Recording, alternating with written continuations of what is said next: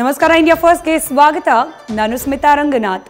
ಎರಡು ಸಾವಿರದ ಇಪ್ಪತ್ತ್ಮೂರರ ಚುನಾವಣೆಗೆ ರಾಜ್ಯದಲ್ಲಿ ಹೊಸ ಪಕ್ಷ ಉದಯವಾಗುತ್ತಾ ಅನ್ನೋ ಮಾತು ರಾಜಕೀಯ ವಲಯದಲ್ಲಿ ರಿಂಗಣಿಸ್ತಾ ಇದೆ.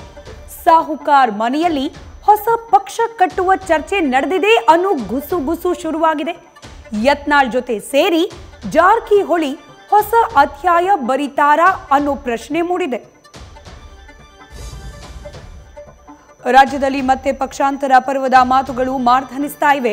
ನಿನ್ನೆ ಸಿದ್ದರಾಮಯ್ಯ ಆಡಿದ ಆಪರೇಷನ್ ಕಮಲ ಮಾತಿಗೆ ಬೆಳಗಾವಿ ಸಾಹುಕಾರ್ ಬಹಿರಂಗ ಸವಾಲ್ ಹಾಕಿದ್ದಾರೆ. ಇತ್ತ ವಿಪಕ್ಷ ನಾಯಕರ ಮಾತಿಗೆ ಕೇಸರಿ ಕಲಿಗಳು ಬೆಂಕಿಯಂತ ಮಾತುಗಳ ಸುರಿಮಳೆಯನ್ನೇ ಸುರಿಸಿದ್ದಾರೆ.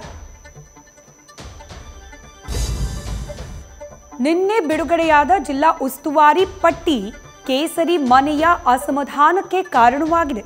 ಬಿಜೆಪಿ ಹೈಕಮಾಂಡ್ನ ಅದಲು ಬದಲು ಆಟಕ್ಕೆ ಕೆಲ ಸಚಿವರು ಬೇಸರಗೊಂಡಿದ್ದಾರೆ. ಸಂಪುಟ ಸಹೋದ್ಯೋಗಿಗಳ ಈ ಬೇಸರ ಸಿಎಂ ಬೊಮ್ಮಾಯಿಗೆ ಬಿಸಿ ತುಪ್ಪವಾಗಿ ಪರಿಣಮಿಸಿದೆ. ಚುನಾವಣೆ ಹತ್ತಿರವಾಗ್ತಾ ಇದ್ದಂತೆ ಅಯೋಧ್ಯೆ ನಾಡಿನಲ್ಲಿ ರಾಜಕೀಯ ಸಂಚಲನವಾಗ್ತಾ ಇದೆ.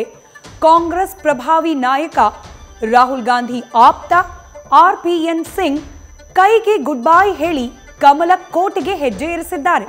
ಇತ್ತ ಪಂಜಾಬ್ನಲ್ಲಿ ಬಿಜೆಪಿ ಜೊತೆಗೆ ಕ್ಯಾಪ್ಟನ್ ಅಮರಿಂದರ್ ಮೈತ್ರಿ ಮಾಡಿಕೊಂಡಿದ್ದಾರೆ.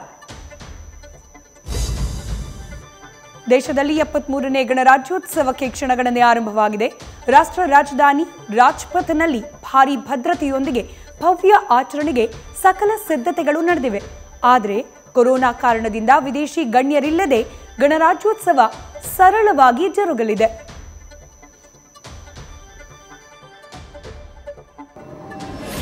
First.